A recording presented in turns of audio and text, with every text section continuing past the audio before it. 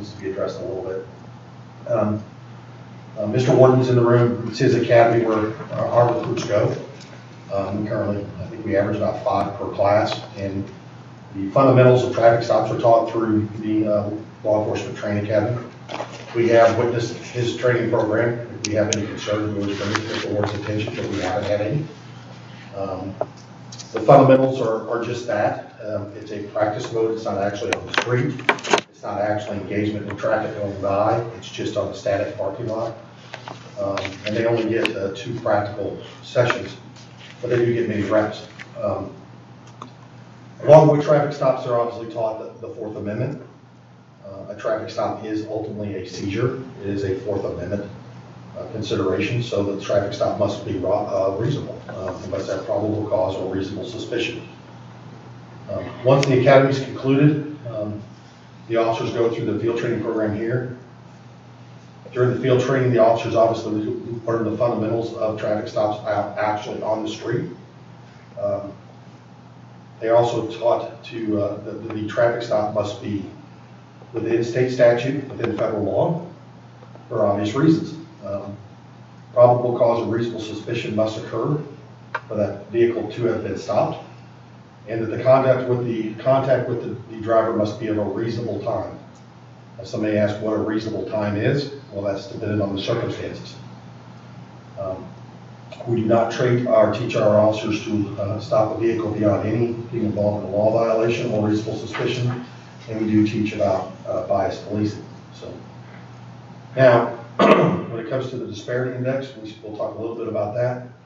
Uh, We are, let's talk, let me start by saying, let's talk about uh, searches and seizures of the vehicle. Um, The chief of police, um, after this video involving the street crimes officer came out, we are reapproaching how we train our officers on um, marijuana residue within a vehicle. Obviously, the Missouri marijuana law has changed um, how we approach the odor of marijuana and much less the, what we call shake inside the vehicle. Um, We're going to be taking additional steps that we're currently writing into policies and then ultimately will be a training issue for me to do to all officers that if they suspect an odor of marijuana or they see residue in the vehicle, that they will have to start recording that. They will also have to um, um, collect some of the marijuana and do a field test on it in front of the camera to show that their suspicion was actually correct, even if they have no intentions of charging the person with a crime. Uh, we normally don't charge people for, possession. does everybody understand what I mean by shake? Shake is just like the, the residue of making up a marijuana cigarette that may fall out of, while doing so, or marijuana seeds, stuff like that.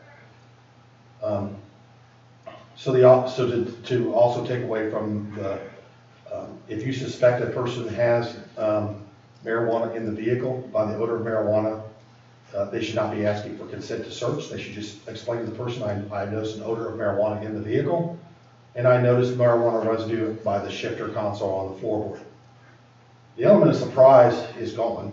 I mean, you might as well be straight and honest with the person and tell them this is what it is, and if all there's in the vehicle is shaker marijuana, we're not gonna charge you with a crime. Um, We have an ordinance in place that that is the lowest denominator. Um, The approach to a traffic stop, um, you know, we already have dropped the signature requirement on summonses. Um, We do not require people to sign summonses in order to appear in court. Um, There is a bottom of the citation that says that, you know, you by hereby signing here is not a plea of guilt, just says that you promise to appear on the court date. Well, if I have, uh, Mr. Warden, for example, uh, positively identified as a driver's license, or I run him and see his picture, I do not need his signature on that summons to, to have him show up for court.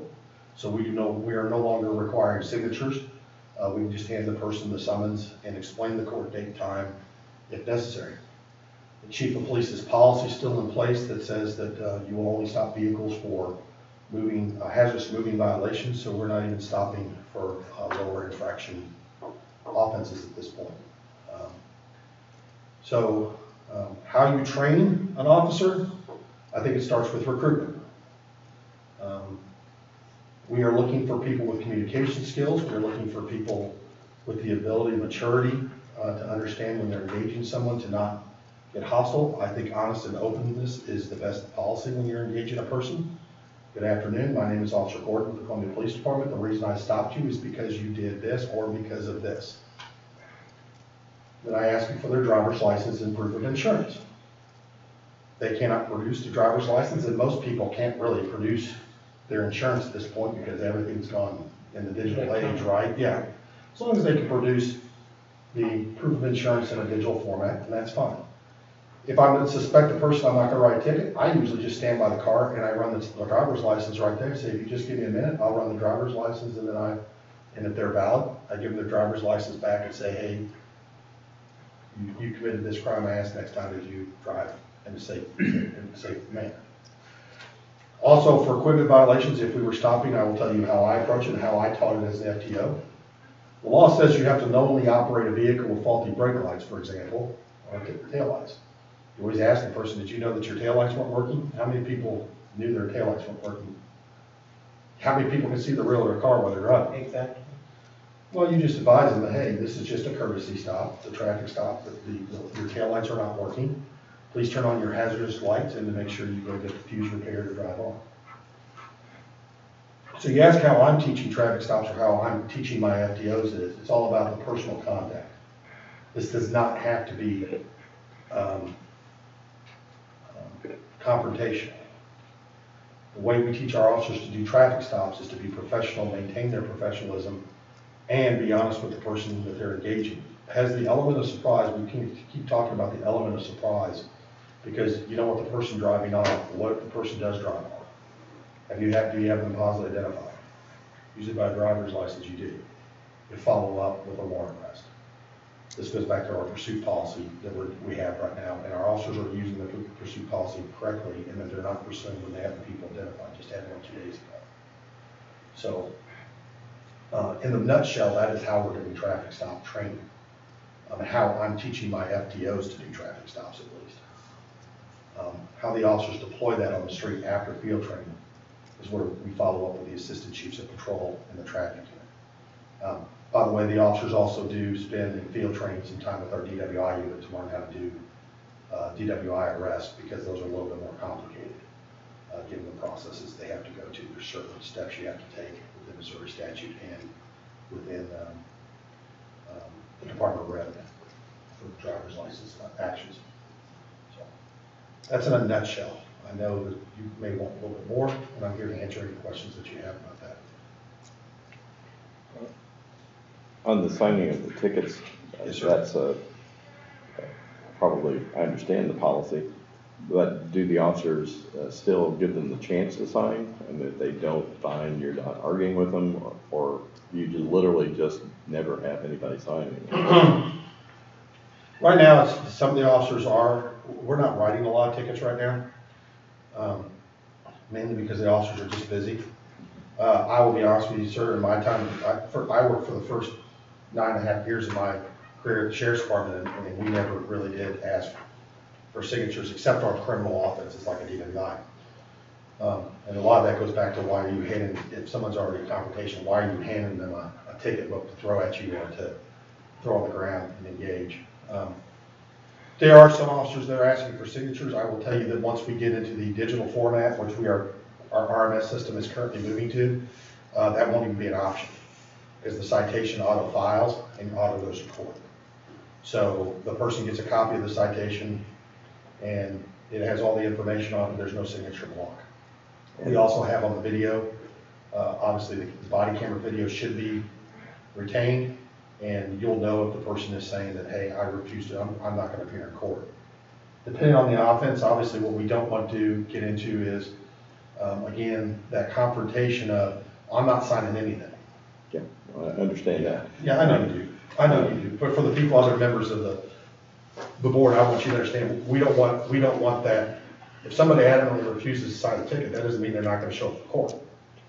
So, so it would be fair to say that the policy is not uniformly being applied, but soon it will be uniformly applied because it just simply won't be an option. Yeah, we just want, the, oh, and I also forgot to tell you, uh, the chief of police, and rightfully so, requests or requires that any officer that stops a vehicle, the person, if it's possible, and there's times where it's not possible, there's a few extremes, But he does require everyone to be given a copy of a written warning if they're not issued a summons, to show the legitimacy of the traffic stop and who stopped you and for what reason.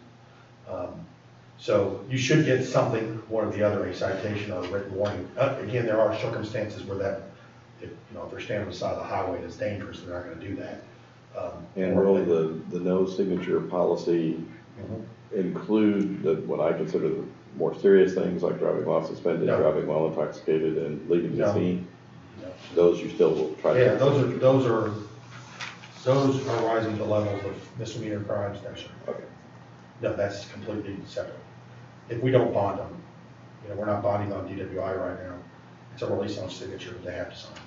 And then they sign all of it, they sign the original offense and the uh, DWI signs. Really, it's about not putting people into the jail right now because of COVID, even if they are gonna post bond, we don't want that temporary, even temporary exposure inside of the jail environment, so people for DWI are released on signature now, and let, if it's, if they're able to be.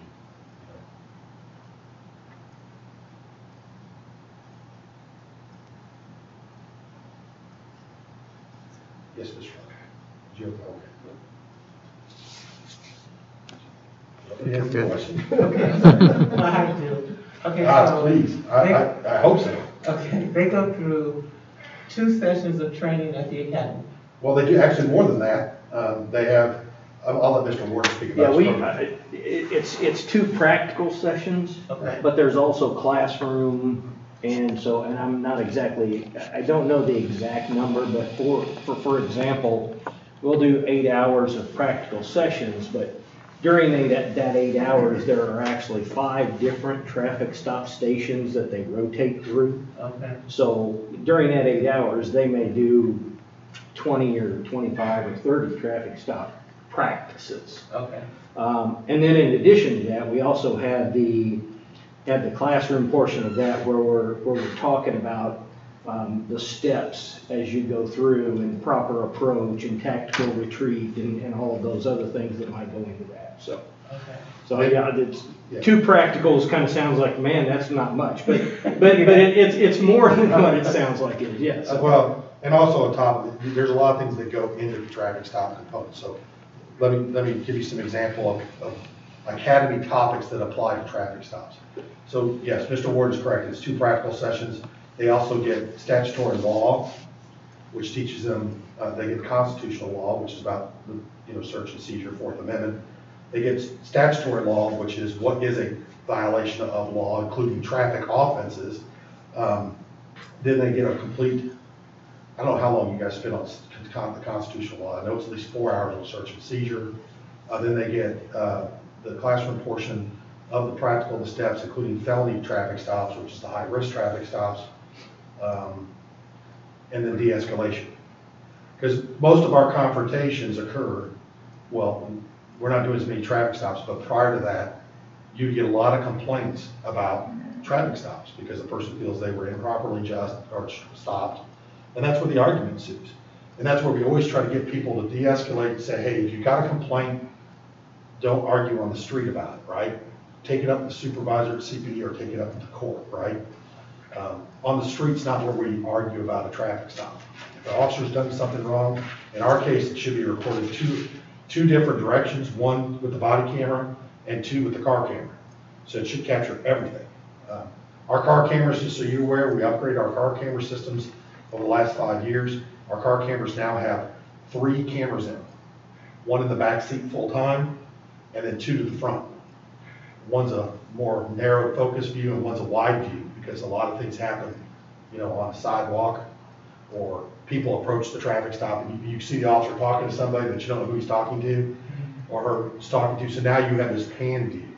Um, So, um, I, when I was a patrol supervisor, I always encouraged people, hey, don't, never argue with, a traffic stop with an officer. If you have a complaint about the officer's conduct, that's what the complaint system's for. If you have a, if you think, you you know, it's a court issue, that's what the judge is for. Um, We will always investigate our officer's conduct. And with the body cameras and the car cameras, there's just no, there's no, it either happened or didn't happen. Um, So, Could you give us some idea of, and I'll tell you why I want to do this.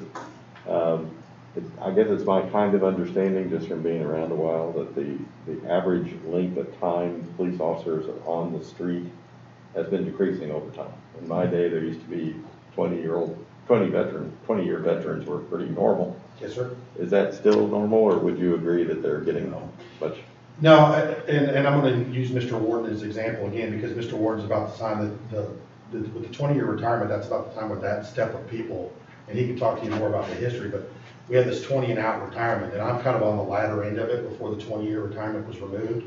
And we have large chunks of officers that all came in, in the same time, and again, Mr. Warden can tell you, his group of people, uh, how many people, I, I, I imagine there's, well, there's nobody left from John's original group of people at CPD anymore. Um, and I'm on the latter end of my group, so the average age of, in years of experience on patrol right now is, is under, is largely, is under four or five years. And I would say it's even, on the night shifts, it's even under two years is the higher number, because when you look at what we're doing, Mr. Ward puts on three academies a year, we're averaging four or five people in each one of his academies. So that's fifteen officers a year that his academy is producing for the Columbia Police Department, and that's replacing people. And we right now have uh, fourteen vacancies. So, And, and I think, and I think there's a couple of things that go into that. I, I agree that, that the, the, the rotation at CPD happened, the twenty year and out was, was a big, took a big hit, but I also think that you're, you're looking at a different, a different generation. I mean, you know, that, they, they aren't, they aren't those twenty years at the same place people. They wanna go do different things and, and, you know, different experiences and all of that. So I think you have some of that as well. Um, just as, I- you know, for, for example, when I applied in nineteen ninety, there were three hundred people that took the test for two openings. And five people interviewed last week, two made the eligibility list. So, you know, so, so just the difference in sheer numbers of, the first individuals wanting to do, wanting to be police officers has dropped, but, but all of these other kind of periphery things that have happened are, are also contributing to that. So I can remember I was, I was the sergeant over the per, personnel development unit, which is recruiting, hiring, and training before I left, and we had to drop our, our minimum experience of our field training officers from five years to three because we didn't have enough officers with five years' experience. Well, that's kind of what I'm trying to drive at ultimately, is the police department of today is younger and has a different perception of policing than even five years ago. Well, and, and, and the people that are even leaving our department are going to other departments. They're getting out law enforcement. Whether they're going to work at Veterans United or they're going to work somewhere else, they're not staying in law enforcement. Very few, uh, in the, last, um, six months, I only know of one officer. Make sure, I I personally only know one officer that's left the department and he went to South Carolina to be a police officer because that's where him and his wife really wanted to move to, and he'd only been here uh, four or five years. So, and this, this generation is more, what I consider more mobile. They do, they do seem to move more. Um, But what we have tried to do is, and now, this is not, just kind of give you a little bit of a comparison. I was on the phone yesterday with uh, a captain from the Minneapolis, Minnesota Police Department. Now, granted, that's where George Floyd happened, but, you know, they have, they have a sworn of eighteen hundred officers. They're down to nine hundred and eighteen. Um, and they can't, they can't find any applicants. Um, So now what we're getting ready to is we're getting ready to get over to what I kind of refer to as a bidding war. Because you've got police departments all over the nation that are offering, one, one department close to us is offering five thousand dollar sign-on bonus to get hired. Five hundred dollars after the first, I'm sorry, $5,000 sign-on bonus, five thousand when you, when you complete field training, You've been there one, or, or sorry, yeah, one year, and then five thousand dollars after a completion of, of, of two years of law, or two years, two years of time. It's fifteen thousand dollars. These officers are marketable, they know that, they, they go, hey, they, they don't mind moving. I'm born and raised in Columbia, Missouri. I, I don't want to leave, my family's here, my dad's here, my mom's here, I mean, there's a reason why we had cops that, you know, they anchored themselves here, the kids were going to Columbia Public Schools. You know, again, I just go back to Mr. Warden, because Mr. Warden and I go way back. His kids went to school here, he went to MU here, you know, he- has a history here. His kids, or just call them, these young officers, they don't really have that there, so, um, we have to find a way of incentivizing to get those officers. I like to recruit the more mature people. Um, The officers that they've either, I, I do like the post-military because they have a little bit of that, they're not that 21, 22-year-old, they've got a little bit of that shaved off. Uh, but like, we just recently hired a person who's in his thirties from Water and Light. But he's got the people skills, that's what it takes. Um, The ability to talk to somebody, the ability to have a good temperament, and the ability to just calm, be a calm, a, a calm person in a chaotic situation are skills that are very hard to teach, right? And then you have your leadership skills, which those people eventually carve themselves out over time. Um, So that's what I look for when I interview people. Um, I will also tell you, I ask people, you know, why do you want to be a cop? They have to want to do this job. I mean, when I say want, they have to want to do this job. Because you have to be able to take the stuff that goes with it and, and be able to go, they weren't mad at me, they're at, they're mad at this uniform. They're mad at this. They're not mad at me as a person. You, as soon as you can deflect that off, it, it helps keep you calm and go, hey, I understand why you're mad. And put yourself in their shoes for a little bit. This is the kind of stuff we teach our FTOs. And this was stuff that I came up with. I, I learned from him when I was one of his FTOs, and he, and I'm just passing on to the next generation. We really need to try to find that, that, the, the, you know, one former officer once said the worst thing that ever happened to law enforcement was the air conditioning. Because the car windows went up. I always taught my recruits, windows down, air conditioner full up. Wintertime, windows down, heater full up. Because you're more accessible when the windows are rolled down.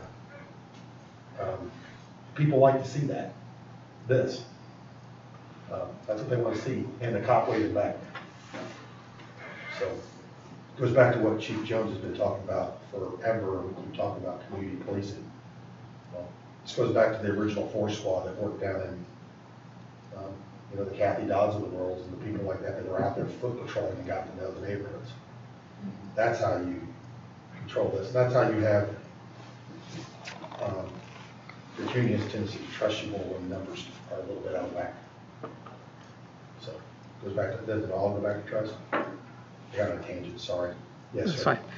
Um, Part of the reason the board was formed was like to address like the racial disparities in policing. Um, Some of the recommendations that have come from numerous studies, not just in Columbia, uh, always revert back to training. Mhm. Um, I'm kind of curious to know, as, um, from a training perspective, um, what have you, or what, what can you do to correct or reverse that trend? And if if it comes from like the operation side of the fence too, I'd be kind of curious to hear where we're being lost in translation. Well,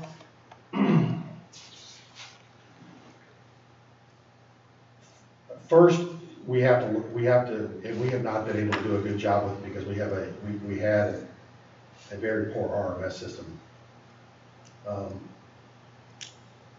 Traffic stops are a, a tool that the officers use to make the roadways safer, right? We go through, through spikes of fatal accidents, all of a sudden, a lot of DWIs, now we, luckily, we have one of the true, truly, not me saying this, Department of Highway Safety, one of the best DWI users, which I think is why it's driven DWIs down, but I also think because Uber, if you go back in the day, they wasn't a cab in this town. Um, From the training, recruit, training perspective of it, is- it starts with obviously, um, why are we doing traffic stops for? I think that's the first, needs to be the first thing. Are we doing traffic stops to actually curb, um, accidents, um, to stop loss of property and, and injuries to people? Are we doing traffic stops as a, as a proactive law enforcement tool to, for criminal interdiction? Those are the two ways you gotta break it down. Um, When I had the traffic unit and when I had South Patrol, I was told my officers, I'd have the crime analysis person run my stats and say, this is the highest areas in which, um, accidents are occurring, that's where I would like my traffic enforcement to focus on, because it was data driven. It's also data driven when you start having a lot of car break-ins at two or three o'clock in the morning. Um, you know, we had, uh, it was last summer, we had literally five cars stolen one night. Um, That's where another tool, a traffic stops come into place because the criminal element has to move in some form or fashion. Um, So you have the criminal addiction, then you have actually the reduction of uh, loss of, loss or injury of life and protection of property, which means stopping crashes and raising everybody's insurance rates. How you break down those tool, those two, in my view, this is John Gordon's view as, the- as the training coordinator, is I teach the officers to use data-driven information and say, why are you stopping this car? Like, I always ask, why are you asking for consent to search? I always ask that. When I was a patrol supervisor, I said, why would you ask for consent to search? What drove you to ask for consent to search? You either have reasonable suspicion or probable cause. That's my view. So I really wasn't a big fan of consent to search to begin with. I'm not against it, because I think there's sometimes you just can't put your finger on it as a patrol officer. Something's not standing up, body language, human behavior, you feel something's wrong. But we've got to get better at bringing everybody together and having officers and being on one training platform. And then reinforcing that with part policy. You want to know what's really hurt us lately, and I know everybody's probably tired of hearing this word, but COVID. I had to cut my last sessions of in-service and go to virtual. I'd go online. Does anybody here believe that online training is, is a, is a, really a very good training tool? Or is having an instructor in there engaging somebody and bringing up real stats and saying, hey, officers from this beat, your stats are showing this. Why is that? Uh, the chief is looking at bringing a form of CompStat back. CompStat is someplace where we would look at these types of numbers. Uh, Chief Burton did a form of CompStat, and it's to, you know, we are looking at the traffic stop numbers monthly and saying, why are these numbers the way they are? What has driven the numbers to be that far? So you asked me what's the breakdown in the two. Well, number one is we could actually be in a room together without, without having to have this major pause. Uh, Let me ask you, sir, and I know you don't know much about our training program. How many months do you think it takes for me to, to, to get to every officer at the Columbia Police Department? No, I wouldn't even hazard to guess. Four months for me to have one, well, three months for me to have one training session of the same topic. It's two training sessions a month for three months.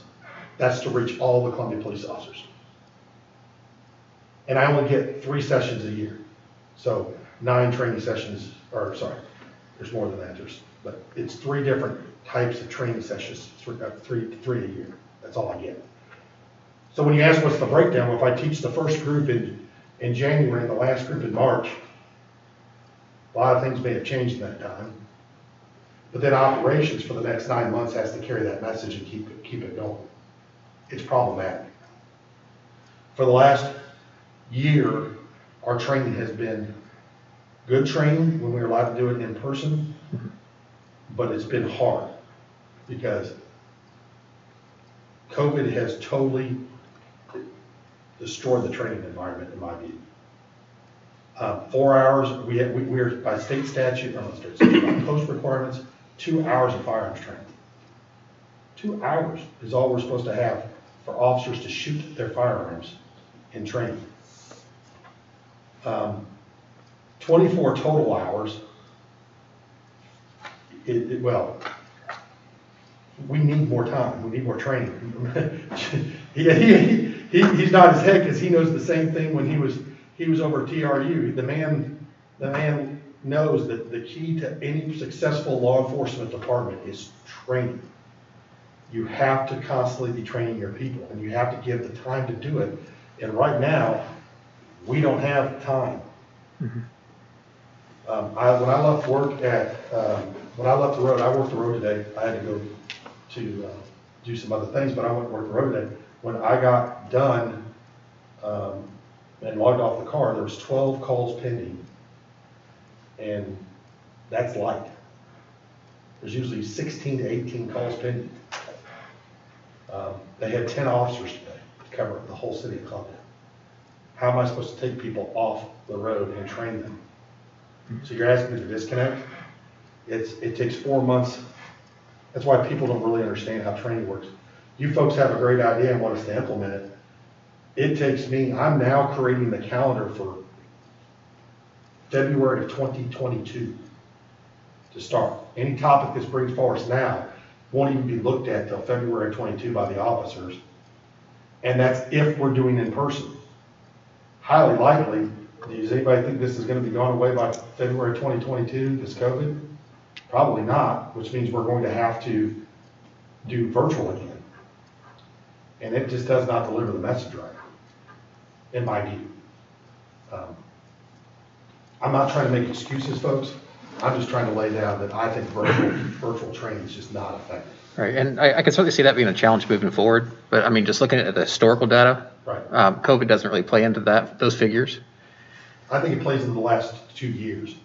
Right. Because by the time, by the time a problem is recognized, Mhm. by the time a problem is recognized, identified, and says, okay, well, this is a training, by the time you can get that training, I, I can throw together a, a, a POST-certified lesson plan in two hours for what you're asking for. But then to roll that out to all the officers in the Columbia Police Department and reinforce that by policy, and then to put some checking mechanisms in place, I think that's where your, your problem is. Um, The, we also have seen, um, the, the digger, the bigger, the, the, you know, the, the in-depth analysis that comes out of this is, you know, we're not able to, like, I added the two questions to the profile, like, did the person admit to the use of controlled substances in the car?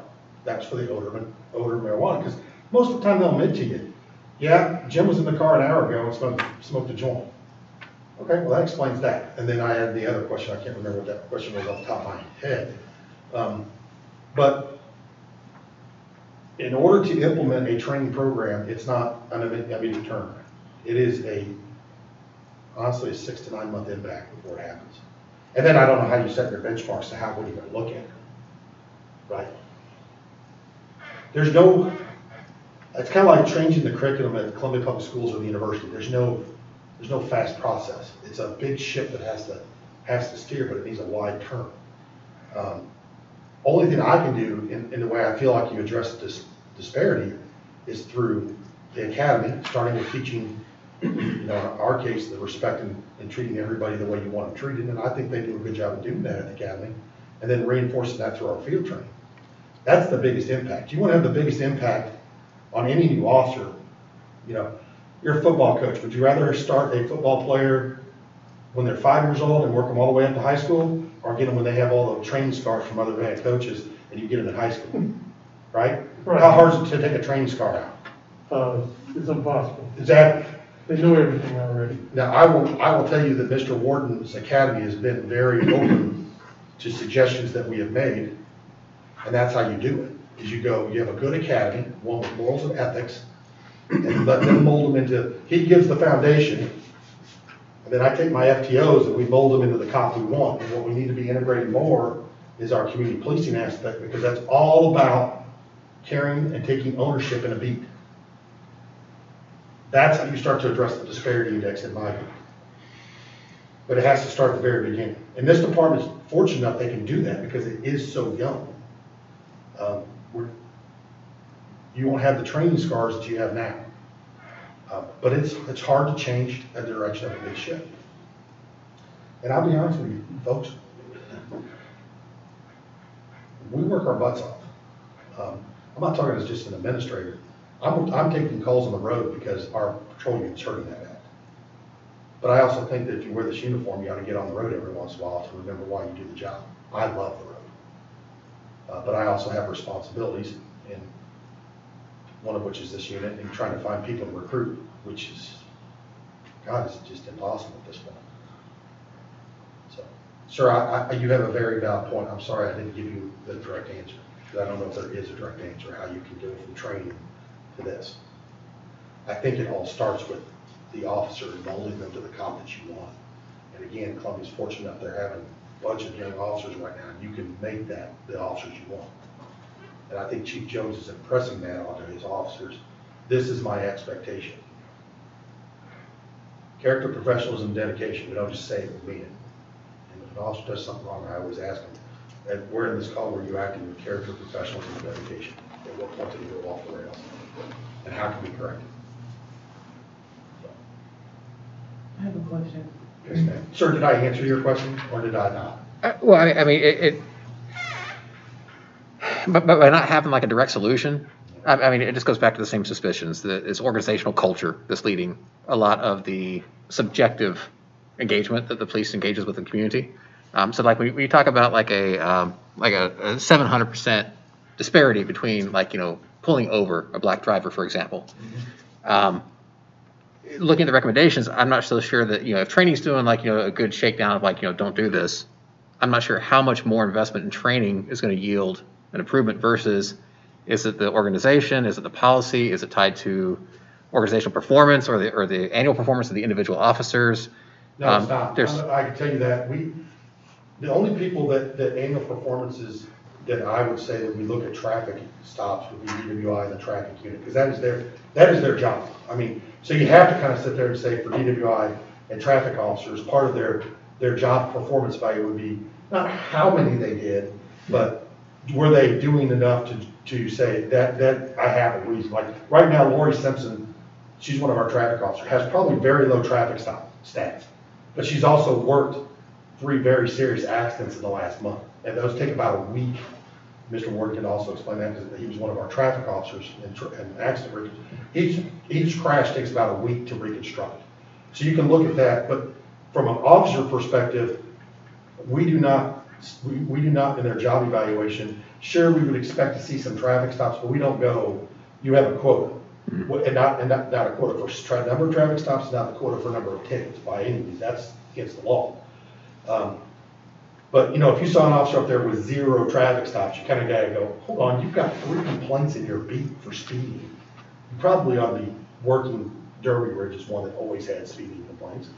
You should probably, that's not related to their, um, to their performance though. It's just one component.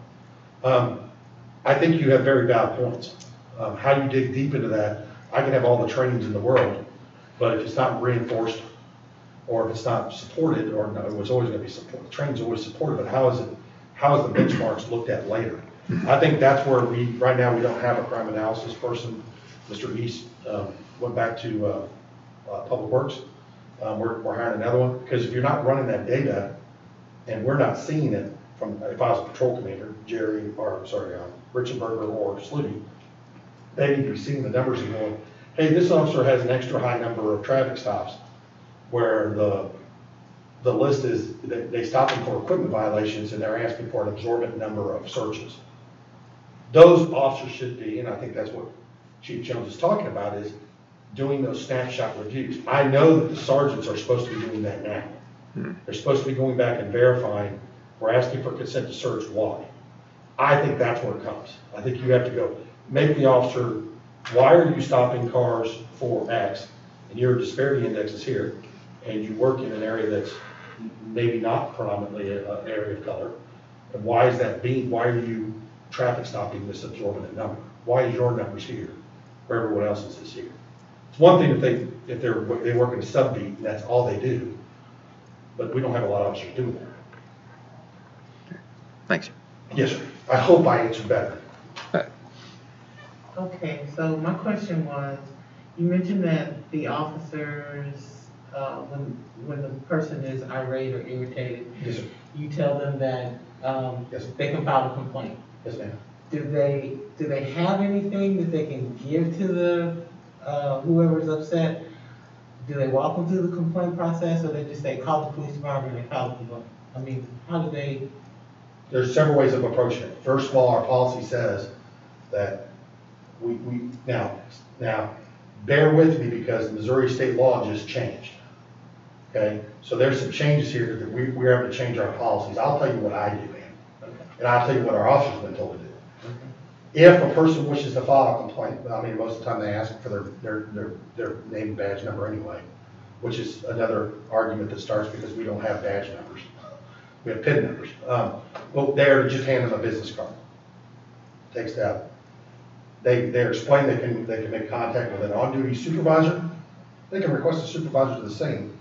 We try to do is avoid that because our supervisors are often running calls too, or going to other calls, and we don't want them to go, well, I'll call for a supervisor, and the supervisor's like, well, well, I'm caught up with this, the death investigation, for example, that even if someone dies of natural causes, our supervisor has to go to that call.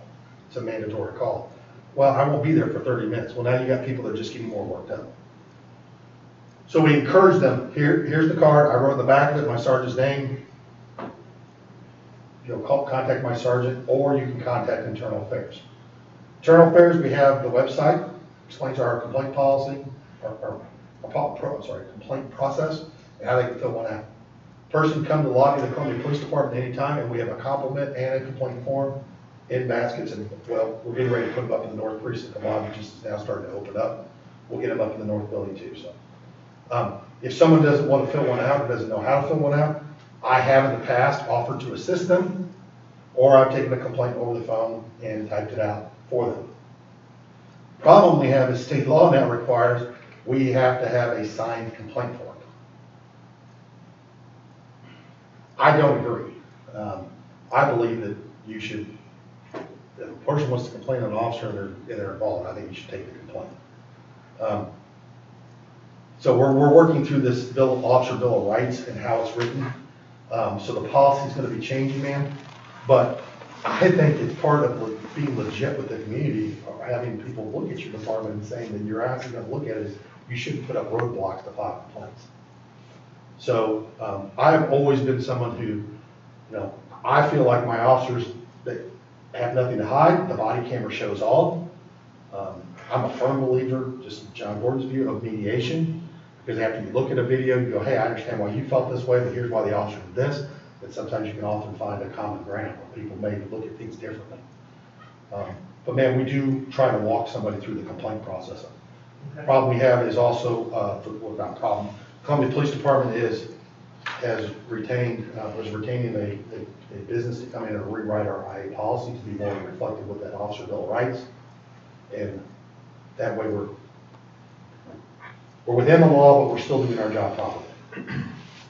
This kind of goes along with the citizen review board stuff. So, yes, sir. The, uh, we have a data subcommittee. Yes, sir. That was meeting before this. and, Yes, sir. uh, The last couple of meetings, we've been, uh, uh, working on this, on the sorts of things you were talking about with the, uh, having the data and, uh, being able to use it to,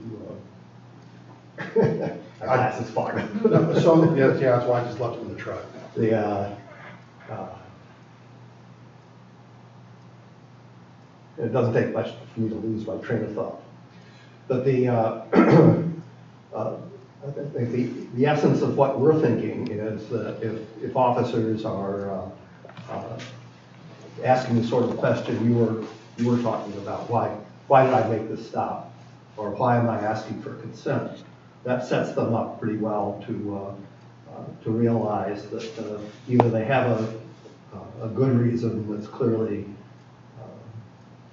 uh, separate from race, or they, uh, they shouldn't be doing what they thought they would do uh, because the facts just aren't uh, convincing enough to, uh, to do it.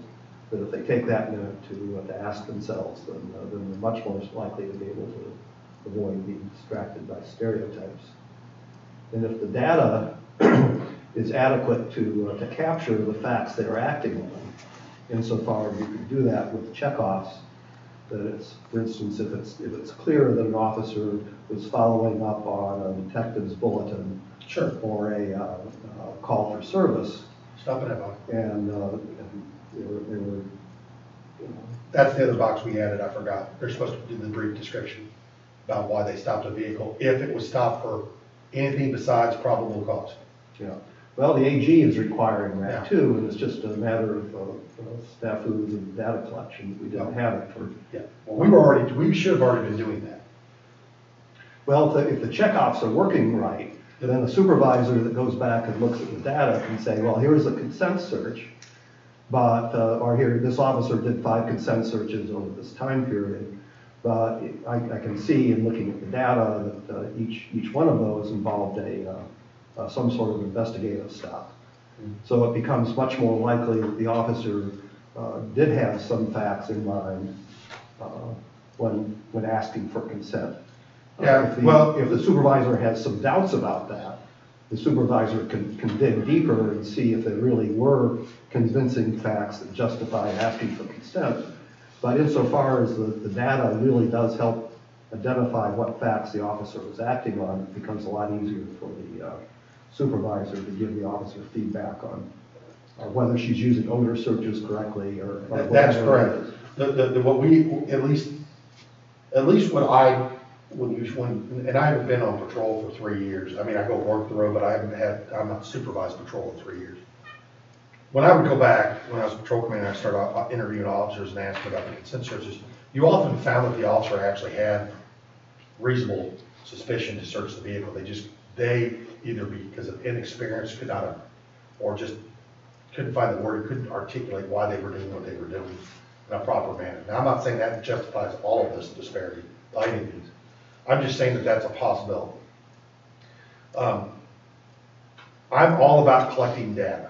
I, I think that, you know, you and I have had many conversations going back five or six years now. Um, I've been put enough years, I should yeah, retire. well, and, but here's what it really comes down to is, but we're, I think we're farther ahead than most cities because everybody started following what, that, you know you're doing it right when other cities are starting to follow what Columbia's doing. That's a good thing. When we start to dig into data and they're saying, well, why did you add those questions to your to your, well, because we, this would help us explain to our community why we were doing what we were doing, right? Well, I agree with that. I see what a lot of other agencies are doing and talked to enough other chiefs that I, uh, uh, I don't know of anybody that's taking it as seriously as, uh, as Columbia is. No, they're not, because they, but that's okay. Um, I think the, I think what you're saying is correct. Um, The sergeants and the, the front frontline, the frontline sergeant and the frontline lieutenants of control, op, called operations. They should be reviewing this data. Um, consent searches, I don't, I don't, I'm not saying there's not a place for them. It's just very, that's just kind of for me, it's a very gray line. Why would you ask for consent? As a patrol officer, I, I felt like I always had reasonable suspicion or probable cause, and I just either did it or I didn't. Um, and but I was also, and again, you're talking about somebody who's been doing the job now for 26 years full time and 31 me out my reserve time. I'm a little bit older and a little bit more, you know, I'm a little bit more of a straight shooter. You know, it's just you just you have probable cause or you don't. Um, kind of goes back to that. We don't we don't joke around when we ask for consent to search and someone says no. No, they've said no. Or well, why do you want to search my car? Well, I just want to know if you have any weapons or contraband. I don't. Well, I don't know if I want you to search my car. That's a refusal. I don't know if you, I want you to search my car. I consider a refusal. We're done. And the judge will tell you, if you try to walk along that line, he's gonna throw your case out anyway. So don't even deal with it. Stop. Um, They either give you permission or they don't. I think the direction that the data committee was going at any rate, and will have to be looked at by the whole committee. Yeah, just- basically if there's a, if the data shows there's a disproportion someplace, like in odor searches or consent searches or whatever, then that flags the possibility of discrimination, and it becomes the supervisor's responsibility to, or the supervisor needs the information necessary to, uh, to then look at what the officer is doing in each one of those consent searches and determine, or odor searches, and determine whether the, uh, the I don't know how officer you're is going- on facts or not. I don't know how you're going to get, people say odor of marijuana is subjective. I will argue that hydroponic marijuana, there's nothing subjective about it or not. There's either hydroponic marijuana in a car or not. Because it reeks. There's no, you could, I mean, tell me, anybody in this room not have been around hydroponic marijuana? Okay, I can tell you right now, I'll, I can go get some out of our evidence locker, You'll- you'll put it in a bathroom for just ten minutes. Mm-hmm. You'll walk by the door, it, it reeks. There's nothing subjective about the odor of marijuana. It, it's either there or it's not. And you know it's coming, oh, excuse me, you know it's coming from the car, you don't, because as the wind goes by, you'll notice that the odor goes away, but then it pops back up. But nine times out of ten, if you ask the person, is there marijuana in the car? As long as they don't have a large quantity, they'll admit to you, and I've got a few ounces down here, or I've got, X, or somebody was smoking a marijuana in the car earlier. And when they're being honest with you, Okay, well, thank you for being honest, I appreciate that, we can move all right. I don't know how we're ever gonna get around that subjectiveness, because, Well, I think that's fine. Part of the problem now is we see this huge disproportion for odor searches against black drivers. right, But there's not enough information in the data to, to evaluate whether the officers are, are doing something wrong or not. If there's uh, information about whether it was alcohol or marijuana or something else, and then there's. that I can agree with. Then there's information that, uh, uh, oh, it was verified, or, you know, somebody else verified the odor, or, uh, Well, which is they're now trying to do with their, their Yes. camera process. well, the camera can't detect the odor, well, whatever. It, it is solvable, I think, that, uh, but right now, we can tell that there, uh, there's, there seem to be way too many odor searches against black drivers, and they're not, uh, and the odor searches aren't resulting in someone being arrested for anything. So it sure seems like it's not, there's no public safety Well- issue there. But if the data was better, we'd be able to, uh, the public would know what officers were doing, and supervisors and uh, command staff would be in a position to, uh, to tell what help officers need to have in order to make sure they're not treating people differently because of race. I will agree with everything you said there except two points. Number one, I don't want to ever hear well, that marijuana is not a public safety health hazard. It is.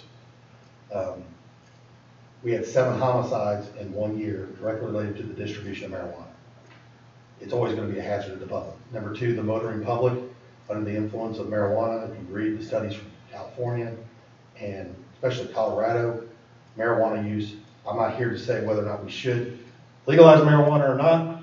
I'm just saying it is a health hazard. Uh, The, the, the study out of California, which is the HIDTA report, talked about the number middle school and middle schoolers that were using marijuana now.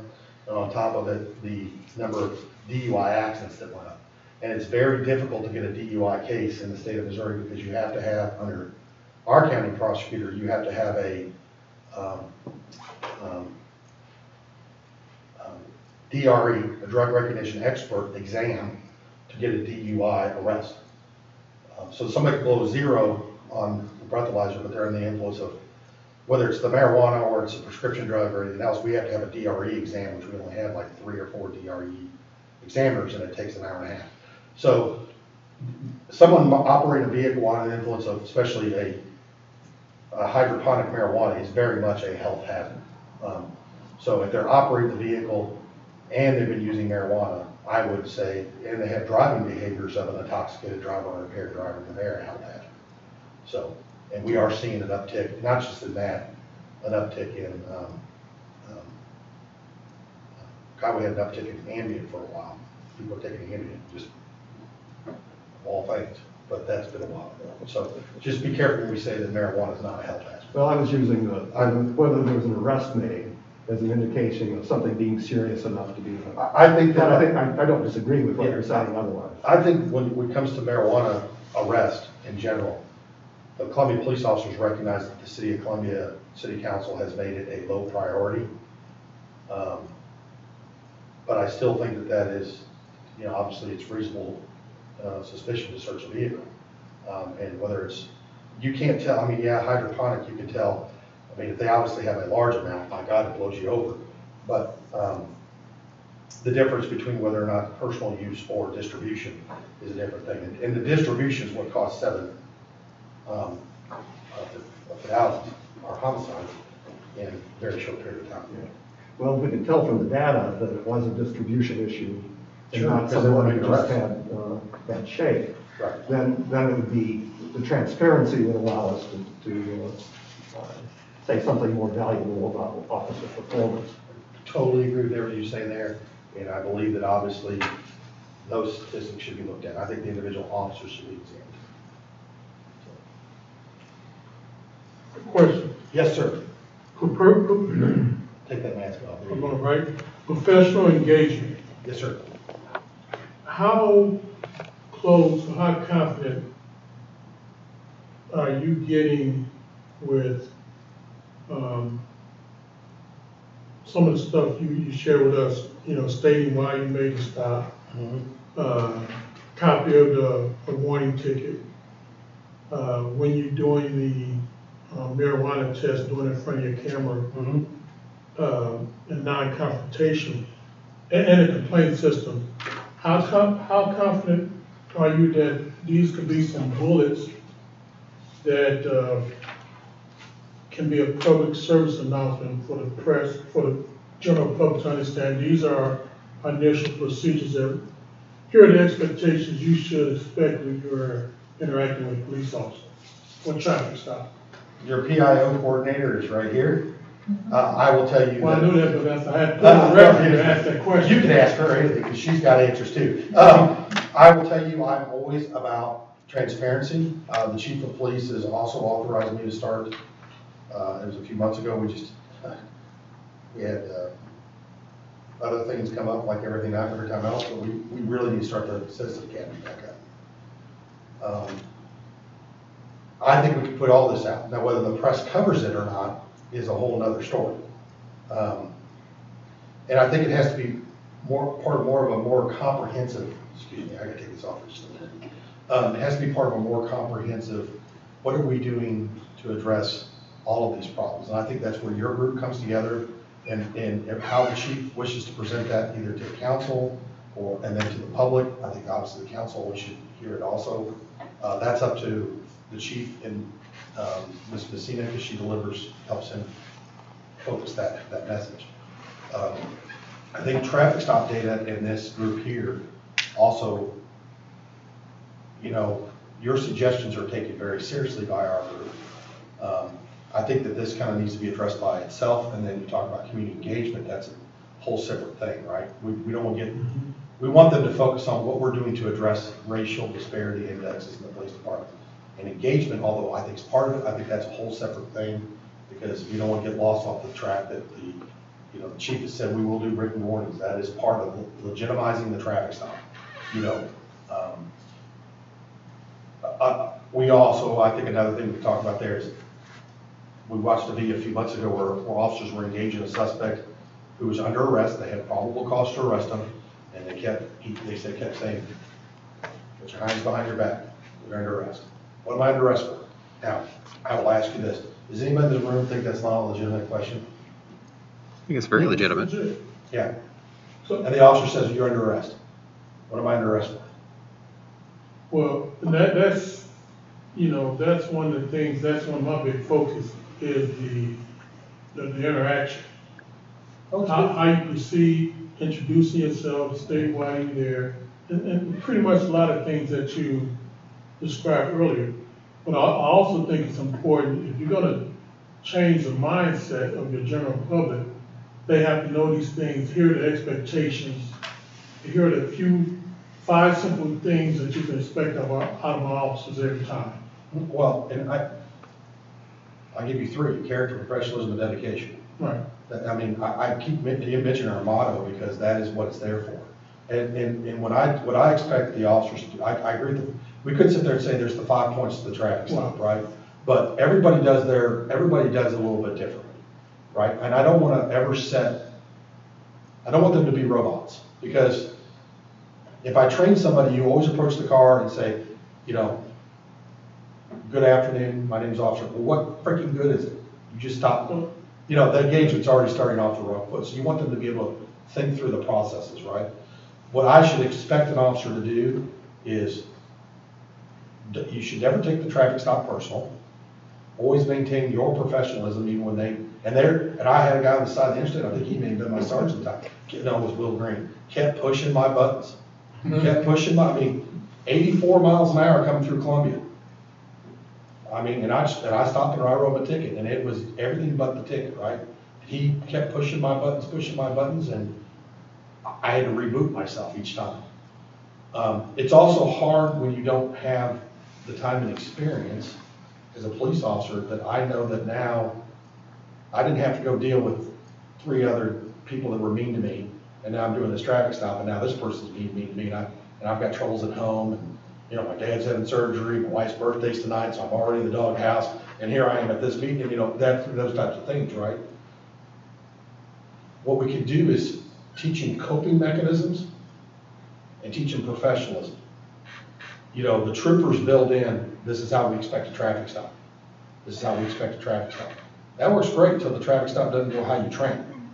then you gotta think on your feet, like the, the external interference. Why are you stopping? You know, if you haven't watched the, the, the ambush on the officers from Texas that happened a few days ago involving the, the, uh, uh, uh, fatal contact, those officers were set up for the ambush. That- that If, if we seen, now, we're not, I'm not about ambushing a Columbia police officer, but we've seen the distractions. Where the, that passenger gets out of the car, and now you're distracted by the passenger, so this person can either run or hit you. I mean, those things happen, so we don't wanna pre-boot or, I, I understand a pre-boot, but for every action, there's an opposite equal reaction. So the may not be, mindset, may not be equal. well, but correct. Because I can tell you, you, you play football, so it ain't always equal. But, but the mindset is, instead of focusing on, um, trying to get it right, do the right thing. Do the right thing comes from a lot of self-evaluation, self That's correct. practice, you know, and self-reflection. So my whole thing is, you know, there's a distrust, we know there's a distrust all the way across the board. Yes, sir. But if we can start with the personal interaction, hey, my name is Jerome Sally, I stopped you because, That's correct. you know, That's legitimizing the stop. right, Telling a person why they're being stopped right off the bat, just like telling a person, if you've lost the element of surprise and placing somebody in handcuffs, then tell them they're under arrest. Just like the gentleman, that, the, uh, the street crimes officer stopped for the shake, why do you, you know, step out of the car, why do you, you need to step out of the car. Like, okay, I see shake marijuana residue by the console, just step out of the car. If all you have in your car is shake, you'll be on your way. right. It, it, it- goes back from quit being a charge situation to de, our job should, as I like to say, we should be decharging the, the situation versus escalating it up, right? Correct. It, it also goes back to, how would you like your, your, your wife and your parents treated, Correct, right? correct. That's, I always ask the officers after, nobody, nobody feels good at, it. even me as a patrol cop, nobody feels good after a confrontation. Nobody walks away from that going, well, I feel good about that, right? Just like you get in a fight with a coworker, no one feels good about it when you're over, even if you were right and they were wrong, or they were right and you were wrong. But what you do is, you, you, you take these from learning experiences and go, uh, like I asked one, one officer a few weeks ago, how did you, how are you acting with character, professionalism, and dedication when you use the F word towards that person? That immediately, your the professionalism gone out the window as soon as you throw that out. Well, what you do is you incite a certain behavior pattern, and you're gonna get that certain. Well, behavior if I say pattern. that, well, yeah, ex- exactly. Now, I was blessed, if you want to say that, that I, I, I, when I started the sheriff's department, I worked a lot in the jail. Hmm. No weapons, no pepper spray back then, and it was all about respect. Right, Now, they may be residents of the jail, but you better, you better respect them. Because if you don't respect them, they don't care if they punch a police officer and get an extra, well, it's a deputy time. They didn't care if they punched you and got an extra ninety days, or if they're going ready to go down to DOC for seven years, they didn't care. You better learn to respect people. And it taught me a hell of a lot of good communication skills. Because I was skinny back then and I couldn't fight anybody. I, I hate to tell you this, that's what I taught all my young administrators and some of my teachers. The worst possible thing that could happen to you, if you push too far, you're gonna get punched. Hmm? But you need to understand, help will be there, but the key is not to get punched. Right. Well, one of Mr. Ward's legendary instructors, who still works for him part-time, is Bill Stevens. And Bill Stevens, you have not spoken to this man, which I doubt he's come to this group. Bill has probably taught two-thirds of the police officers in the state at one point in time. Maybe that's a little bit of exaggeration, but he is literally decades. And Bill Stevens always said, never act like something you're not. Uh, number two, never say something you can't do. Correct. So if you can't, if you say you're gonna put your foot in somebody's butt, you better actually be able to put that 11 and a half in someone's tail, which isn't physically possible. Because someone's gonna, ultimately gonna call you out. And we, you all have had, been around people that you know, someone's going to call you one day on that and you're going to get rocked. So you better start learning to talk instead of running your mouth. Because there's always somebody bigger on the block, Sure. right? And even all the weapons that we have can be defeated if it's fast enough and they get close enough. And So is that part of your training? I mean, do, do they go through verbal judo? Yeah, Teach that- we- them how to some- talk to people? y- Yes, um, we, we are, well, and honestly, I'll tell you what, verbal judo, in my opinion, is one of the better programs. Um, You know, I, and I've been a classic example of using the, is there anything I can do or say to get your voluntary compliance? I always add on the, to my lawful and reasonable request. That's the very, before force is applied. Uh, I mean, because typically you do still get the, you know, usually it's F off or something sarcastic, but you've done everything you can. But what I, what I try to teach when I talk to officers about the application of force is, if the element of surprise is gone, and you're in a controlled environment like, say, a room, slow down. The key to all use of force is to slow down. If it's in your control. So for example, this was several years ago, we had a person in a back, in a, in a back bedroom, we were arresting for domestic violence. He was also on P and P. Four officers were there, three officers were there, I was the fourth, because he was gonna fight. He's, he was in the corner, up on a mattress, I ain't going back to prison. So every indication was, and the officers were all gonna go, okay, we're gonna do, we're gonna get him, let's go get him. Okay, well, I'm not one who likes to get kicked. So I said, slow down, what are we doing here? Have a plan. And they told him, first thing is always goes back to, you're under arrest. You're just under arrest, understand that, it's happening. Then the second thing is you go, what we did is we walked in, this officer is gonna pepper spray you, that's gonna burn. This officer is gonna tase you, this officer is gonna then hit you with a baton and all this is gonna hurt. And we walked and we talked and we talked, and about twenty minutes later, he came off the bed without even, without a single application of force. Because we allowed him to burn off that glucose, get over the anger, and understand that he was under arrest, and he's gonna go to, he was gonna go to jail, and we let him walk, get, have a cigarette at the patrol car, got him in the car, and let him have another cigarette at the jail before we walked him in. Respect. No one got hurt, the offense report on force report went from this to this, right? Mr. Warden will tell you that's communications 101 de-escalation. If you control the scene and you can slow the processes down, slow the process down, show people respect. So we talk about, we can talk about, I grew up place called 609 North Stadium. I went to Fairview, West Junior, and, and then went to Rock Bridge. Don't hate me. And then went to Rock Bridge. It's all about how you talk to people. That's what we have to teach. How do you talk to people and not take it personal? Just because they're being an ink to you does not mean you need to be an ink to them. That's how we've got to teach it. But ma'am and ladies of this panel, I tell you the same thing. I cannot build the gift for gab into people. That came from their parents. Temperament came from their parents. Sir, do you have a temper? Absolutely, Okay, how often does it flare? little to none Okay, how'd you learn that? patience. Who taught it to you? uh, time. Yep, and who else taught it to you? Mel Gray, I mean, excuse me, Mel Brown. Yep, there you go. But the point I'm just trying to make is, it's built into the person. This is what we try to recruit for police officers. I will also tell you, if we see an officer that's quick to the force application, we stop them. We pull them in fast. That's not what we want. Talking to your partner, it reduces app, force application, because then you, then you work the subject as a group, as a, as a group versus one-on-one. Um, we also, a few years ago, when we were kind of off traffic stops, but, you know, certain calls now get a sergeant automatically. If it's a disturbance with a weapon, a sergeant is now part of the original dispatch. Not, it used to be, they dispatch two officers and then the sergeant, you know, now the sergeant is dispatched on the call. Now, if it, believe it or not, we sometimes get dispatched to a disturbance with a plastic spoon. Well, okay, the sergeant doesn't have to go to the call, but now the sergeant's still aware of the call. So if it's a disturbance with a suicidal subject who's locked in the bedroom with a gun, the sergeant's going. Because what we know happens is when a sergeant's on the scene, a plan is made. Things slow down. And this isn't brain surgery, this isn't police work 101. This was being done when Mr. Warden the road as a patrol sergeant. When the sergeant gets there, things have a tendency to slow down, and they have a tendency to start thinking things through. Versus two young officers with two years of experience going, this is what I was taught in the academy, disturbance with weapon, this is how I'm supposed to handle it. Hold on, that disturbance with a weapon is involving a ten-year-old.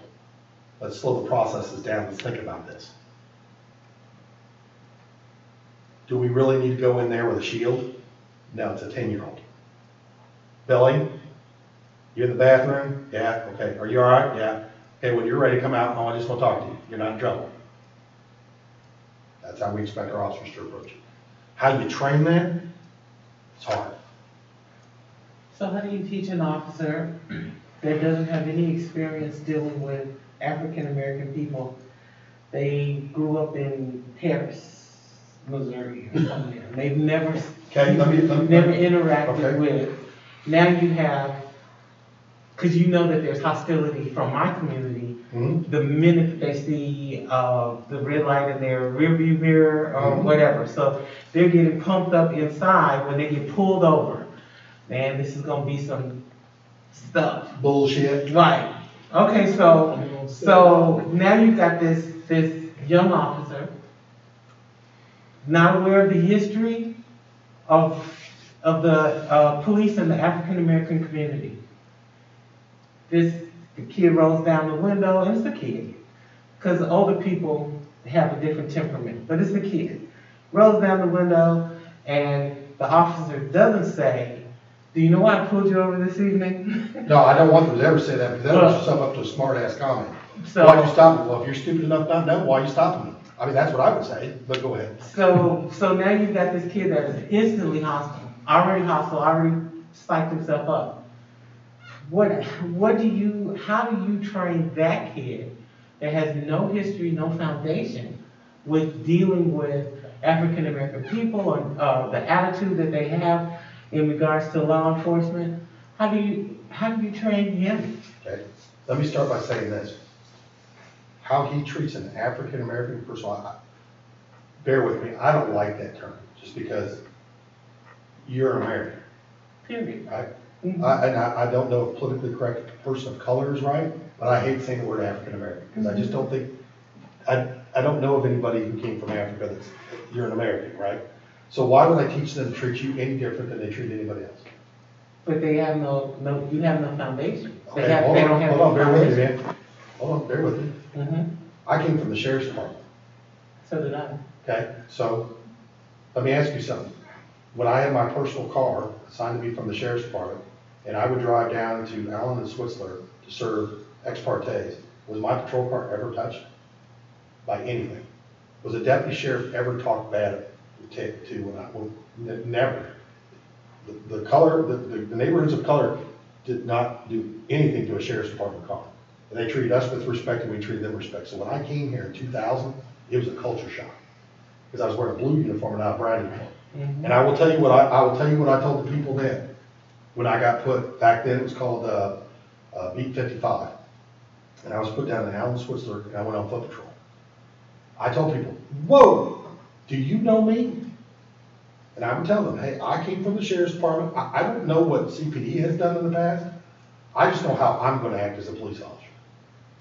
And what I would expect an officer to do is not just, not compare themselves to another law enforcement agency, go, hold on. Good evening, my name is Officer Gordon with the Columbia Police Department. What has got you so worked up? Well, cops are X, Y, Z. Okay, I'm not gonna disagree that some cops might be, but that's not how I am. And the reason I stopped you is because of and you explain to them. Now, is there a reason you ran the stop sign there? I didn't run the stop sign. Okay, well, I look at it a little differently, and the cameras recorded the intersection, so the law violation is recorded. Now, we can't show people our cameras, because that means you have to sit in the car. Mm-hmm. But people always say, I want to see the radar of the camera. Can't allow you to do that. There's, you cannot sit in our cars, just so everybody's aware, the car costs forty-two thousand dollars, the equipment in is thirty-eight. So we don't let people into our cars. They break an MCT, it's four grand. So, but what you do is you teach the officer to de-escalate that out. You have to de-escalate that out, and a lot of that comes with time and experience, and making a few mistakes and maybe taking some write-ups. Yeah, but you say a lot of your officers are young, two or three years That's right, man. experience. So how can you fast track that for them? Well, can you ever, can you ever fast track communication skills? Because I, I will tell you, ma'am, it's hard to learn. You- When I was twenty-one years old, I made a lot of mistakes as a deputy. I just did. Now, that wasn't rude as complaints, I always wanted to do the right thing, but I made mistakes. Sure. Everybody does. But what we've got to do is minimize the mistakes and be fair. Go ahead, sir. Well, I think, go ahead. Do y'all ever role play? Oh, absolutely. Scenarios. I mean, with, I'm, I'm I'm just asking with the script, No.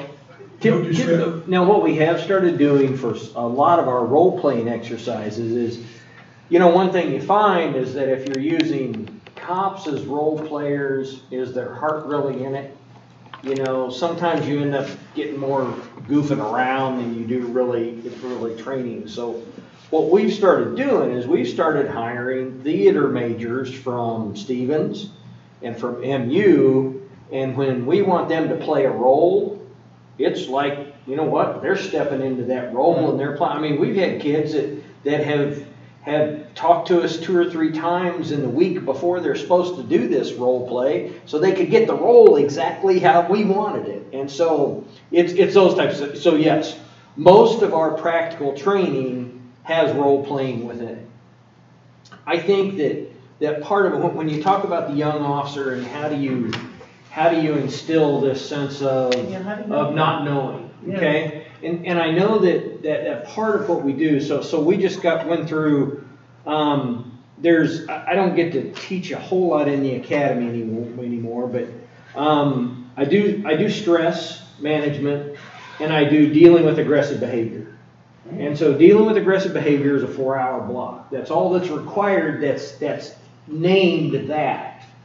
But dealing with aggressive behavior is is trained throughout all of our role playing and through defensive tactics training and all of that. So so there's a lot more de-escalation than just that four hours or, or any of that. And so one of the things that that you really have to you know, I, I do an exercise that, that, okay, so, so describe me. What do you think about me? Okay? And so, and I, I actually, I've actually, I, look, I used to chew, I used to drive a Jeep. Um, you know, t- tell me what kind of music I listen to. You know, and so, and, and then tell me, you know, t- tell me, wh- tell me who do you think I am? Okay? And really what it is, is it's an, it's, it's a way to start having them identify preconceived notion bias. Okay? Because most of the time, they want to meet, you know, you probably wear a cowboy hat when you're off duty, and you've got several pairs of boots, and you listen to country music. I don't do any of Is that what you were thinking? Okay, but, but, but that's, but that's what I heard all the time. I'm a, I'm a metal person. I'm a hard rock guy. I've never owned a cowboy hat or a pair of boots. But, but it was, it was that simple demonstration. And so then you go from there and you say, okay, look, you're 22 years old. You stop somebody on the street. You don't know them. You don't know, did they come from, from another, another jurisdiction where cops beat people all the time or were on the take or any, you don't know their history. You don't know how they were treated by officers within your department the last time they were stopped. So how do you make it a positive contact? That's correct. And, and that's, and, and so it, it does take time. It absolutely takes time. I think all of us in here would admit that, that when we were 21, we did things differently than we do now. But, you know, so, so that's the thing. We have, we have 16 weeks to take these kids that, you know, some of them maybe are a little more mature. I mean, I didn't start, I didn't start as an officer till I was 29 years old. Um, you know what? That helped me a whole bunch because I was a lot more mature and understood, and, and I had those personal experiences and professional experiences that I could draw from. And so, what you have to do is, is in the academy and in in-field training or any other training that you can give them, you have to give them as much experience, even if it's even if it's scripted, to give them as much experience as you possibly can. And that's why one of the things we, I mean, we, we have, we typically, we're required to have 600 hours. We typically have 660, 675 per academy. And those extra hours are mostly additional scenario-based training, role-playing exercises and all that stuff. Because it's just not enough. You know, 600 hours is the minimum. Um, you know, I, I sit on the POST commission, and actually, I believe that that is actually going to go to 700 hours minimum. Um, So some of these scenarios and, and role playing comes into play when you're training them to do traffic stops.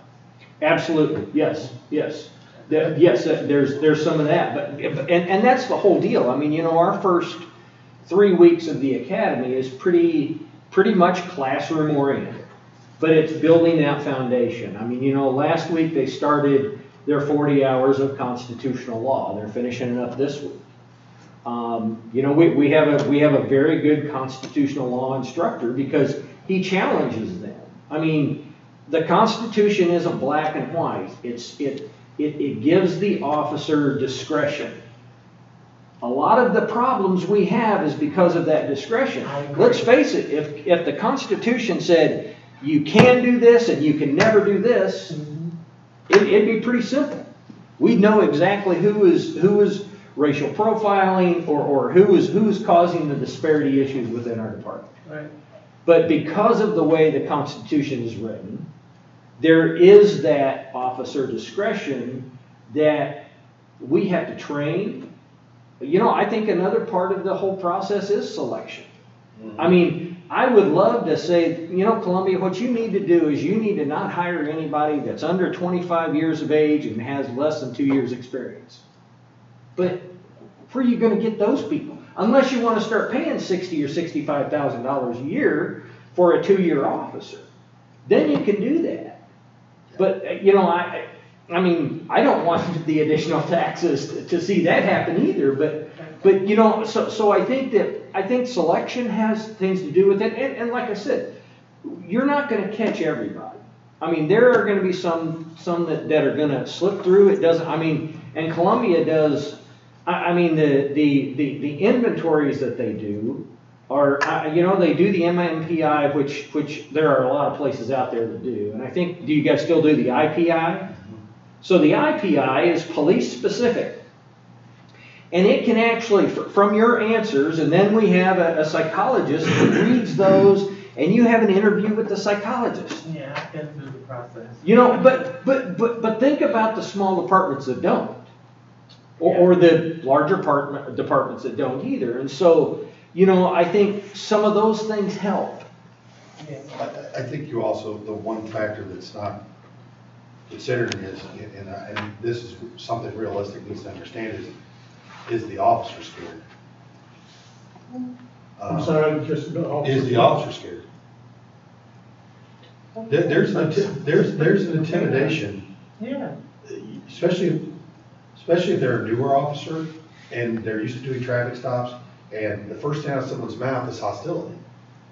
Okay, well, that's a threat. Mm-hmm. Because our uniform stands for the law.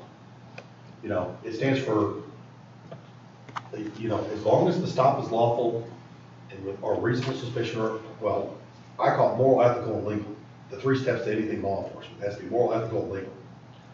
As long as it's within those reasons, and we walk up to somebody and the first thing out of their mouth is, you're verbally attacked. It- it- even, even if it's not using foul language, but you, but it's, it's, it's not, I don't expect anybody to, to bow to the police, because we are servants of the police department. But if someone, you stop them, they go, "What do you want? Okay, well, okay, that rises the officer's level. Now, we talk about the officer needs to de-escalate the situation, but the officer also has a right to go home. And let's face it, there's officers that are being attacked every day in the United States. And that's a scary time to be a police officer. So what I tell people is, and I've always said this, and one of the things we try to, we try to preach, especially the kids, if you're scared of the police, do what they tell you, file the complaint afterwards, or ask for an instant review, because we've done many of those where kids were stopped, an instant review was done, and then the kids were explained why, what happened. Sometimes the sergeant around the scene say, like we did a felony car stop on a car, one night there was a, a enterprise leasing vehicle that had failed to be returned, but actually had been returned and released, and the kids were driving it that night, but it was still listed as stolen because Enterprise never called us. And we stopped and we did a felony car stop. We took some kids in custody for a stolen car that was not stolen anymore because it, all because Enterprise didn't return the call or didn't tell us. We took all the kids and all the parents, we explained exactly why we did. They got guns pointed at them. Quickly within, I think the first or second person, they realized, hold on here, something's not right. Now, this was several years ago, so it wasn't something recent. But that's an example of when we call that incident debrief needs to be done with the people involved and the parents and said, hey, this is why we pointed guns at your, your kids and this is what was happening, was a stolen car, blah, blah, blah, and a potential threat to officers. So you ask, how, how do we, how do we train an officer? Well, also part of that is, how do we get the trust back so the, the kids or the adults don't act that way towards the police? So that, that's the fine balance we've got to find, but that comes with the trust that we have to, because it ultimately, let's face it, it's up to the police department to, to, to, well, it's up to the city of Columbia, because it can't be done by the police itself. But you have to have the trust of the people in order to, to, to not, you're always gonna have some fractions that are never gonna trust the police, it's always gonna be, uh, that's the criminal element, you know, and, and honestly, as I've said time and time again, the criminal element should fear the police. If, if you're here to do bad things to good people, you should fear us, because that's our jobs to put you in jail. But if you're a good, honest person, and maybe you made a mistake at that one moment, and did a traffic violation, you should not fear our police. We should be able to walk up and be professional at all times, approach. I hate the, do you know why I stopped you? Because all that does is open up a smart ass comment coming at you, and then you, you have it on, right? And I did that one night, And- Well, and that's, that's the way we used to be taught. because it was an admission of guilt. It was an admission of guilt. If, if I wa, if I stopped you, Jerome, and, and you know why I stopped you, and you say, yeah, man, I rolled through that stop sign back there, thank you very much, I'm writing that on the ticket, Right. right? Well, I know you know. Yeah, I'm sure you do, yeah, but, but that's, but that's exactly right, that's the way we used to be taught.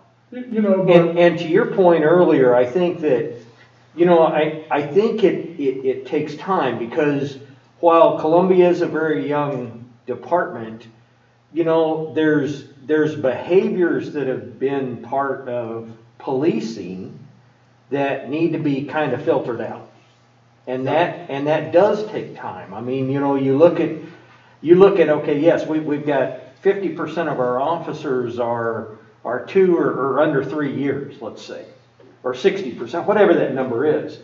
How many of those officers come from other departments? You know, and, and so not just four or five from LETI, I can, I can vouch for how they're trained, but those officers coming in from other departments. So that's, that's part of my thought on the, on the selection process, right? Because if, you know, if, if we could say, okay, you, you have to go to LETI to be hired by the city of Columbia or Columbia Police Department, then that's one thing. But obviously, you aren't going to get enough through the application process and, and, and, you know, I'm, I- we don't want to just hire anybody. So, so that whole selection process, I think, plays a role as far as, okay, so who do we have on our department? And if we have folks that have come from other departments, you know, keep in mind, yes, they have to go through the MMPI and the IPI and they go through the psychologist interview. Um, you know, they're going to have an interview with the chief. They've got a board interview. They've got, I mean, Columbia does a very thorough job compared to a lot of other departments. But I'll tell you, there are still people that slip through the process. And so, you know, uh, how far they get within their career can cause more or less problems, I guess.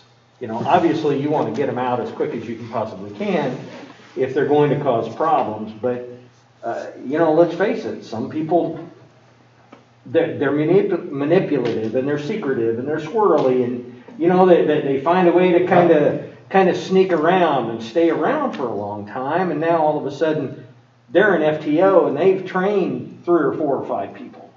And now you've got this, this problem and I think that that, that, uh, you know, I, I think that, that, you know, Columbia does a, does a good job of cutting the head off of that early. But I think that, that when you bring somebody in from another department, then you've got, you just don't know them as well. You know what? Because I will tell you, not every academy in the state does it the way we do it. I could also tell you. that- Absolutely do. I could also tell you the body cameras, in comparison to when I started in 1991, the body cameras do a great job. We, we have an excellent selection process. I, I wash out more people than we hire. I am very confident in the people that we're hiring. Now, do they have the ability to do the job? That's what the academy and field training's for. And then usually within the first two years, we kind of know what kind of officer they're gonna be. But also body cameras don't hide. Our policy says, if you go on a call and you're in contact with the public in reference to a call, you shall have that body camera activated. Now, there's also times where, you know, somebody's at QuikTrip and say, hey, can you tell me how to get to I-70? We don't activate their camera for that. But if they're on a call for service, just like I worked the road today, I went to an an accident, my body camera, I was wearing one, the camera was turned on, the complete time I was involved in the public, and I turned it off when I was done. These body cameras have exposed your trouble officers. If you have a trouble officer, suddenly they have two or three failure body camera activations. Well, what do you mean your camera didn't turn on? And that's a red flag. Oh, yes, ma'am. Oh, yes, ma'am. Big time red flag, because they are, it's burned into their head, because these cameras will save their careers ninety-nine percent of the time, because the complaint, our cameras show what good cops we have. Now, it also shows some mistakes that most of the time are training issues, but, uh, but, but if they turn off their camera or their camera is not activated, there's a problem. They better have a real good excuse. Um, they can't corrupt the files. They have no way to download the camera. It has to go into a dock, or it has to be downloaded using the software with a, with a, know, and, and they can't like go home and erase the camera. It doesn't work. They can't run over a camera, because we had one run over during a fight downtown. Well, we sent the camera off to Axon, and they were able to download the videos off of it for us. We've had cameras stolen during fights, because it's, well, because they fall off the uniform. Because they're, they're holding on, so they fall down and somebody picks it up. But they can't do anything with it because they can't watch the video because it's all proprietary. But the point I'm trying to make is, man, you start to see red flags when you start to see complaints mm-hmm. against an officer, and then you can start looking for a video, and the video ain't there. Hold on, why wasn't your camera activated? So, we are probably the most closely watched professional, um, not job, but, uh, career out there. And body cameras should help us create trust within the community.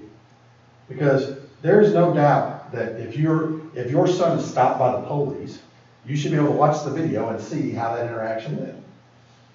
Now, I will say this, the struggle has always been, the law is colorblind. The law is colorblind. The way that you enforce the law with people of color is the same way you would enforce the laws over here, over here, and over here. Whether they're an attorney that makes a million dollars a year, or they live in government housing, or they live in, on a farm, it does not matter. The law should be enforced equally and without prejudice. Now, we all have our biases, but I always struggle to sit there and say, the pigment of someone's skin does not make them who they are. It's the character. If I was to cut his hand right now, his- he would bleed red. Just like if I cut my hand, I would bleed red. That's what you try to eliminate. The fact that you drive a car that may be twenty years old and is a, a beater, or a brand new BMW should be completely irrelevant. It should be. It should be, as long as it, just like I had, just like we talked about an officer's car one time, because he has a, a, a beater car, and he said, well, that's just a car. I I don't care, as long as it's legal. But it's Lincoln Oil, so you just know that, you know? It should not matter. And that's how we would expect our officers to enforce the law.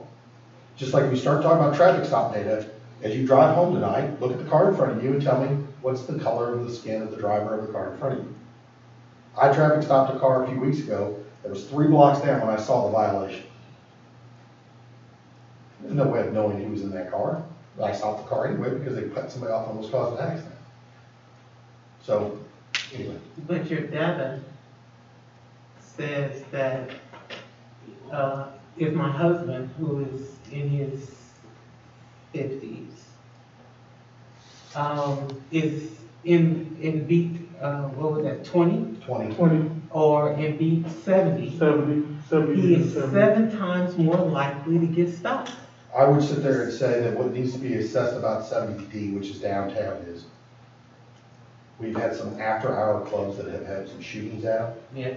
that- So, I- I I also ask that the groups, and I know Mr. Love's looked at this, it's not the number of stops, that, you can't just look at the disparity index if the number of traffic stops is only fifty.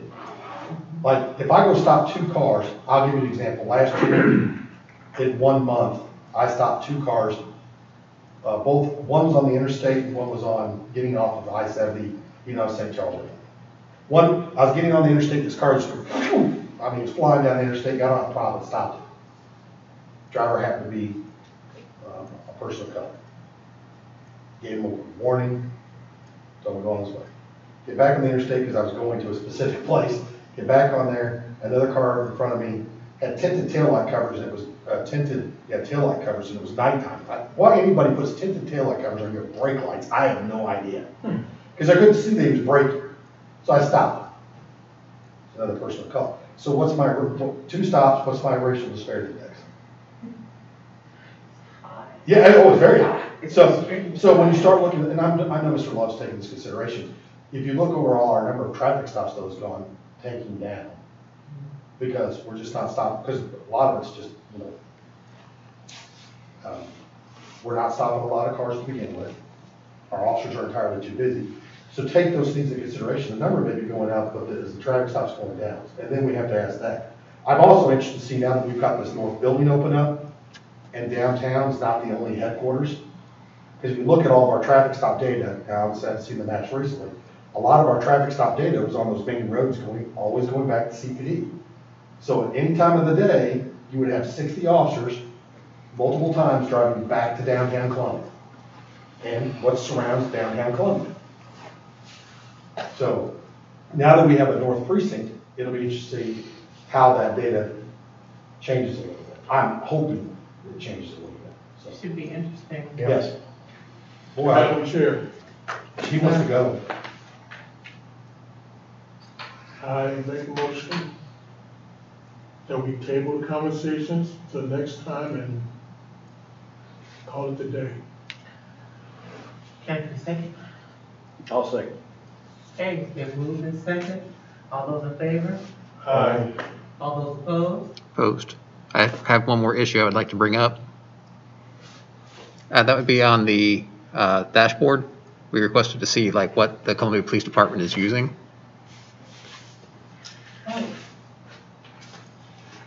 Yes, and I, I'm happy to address that and other questions that you had from last month briefly in the staff report. But I did ask about what we could see in those dashboards. And what I was told was that with the new state legislation that Assistant Chief Gordon talked about a little bit earlier, there may be some concerns about what we can see relating to individuals. We might, however, be able to come in and demonstrate what those dashboards look like, That would be fine. sample data. Yeah, the, the law changed and made personnel files closed records. And that, that's fine. I think we're looking for capabilities, so just even having like a list of the tables, the fields, what you're looking at, how it's displayed, I think that's still very germane to what we're trying to accomplish. I also think we've got a little hiccup going because they are, we are doing a background on a crime analysis person now. They did interviews last week, and we need that person to help us put numbers together. So, with with the loss of Jerry, that really handicapped statistics as a whole, so even our main person do that stuff. I hate, I don't like giving excuses, I'm just telling you that, that they- this law really kind of impacted us. We weren't quite ready for that, so. But yeah, otherwise, that was my only sole concern was that, minds clear? Okay, this meeting is adjourned. Our next meeting is gonna be October twelfth. Five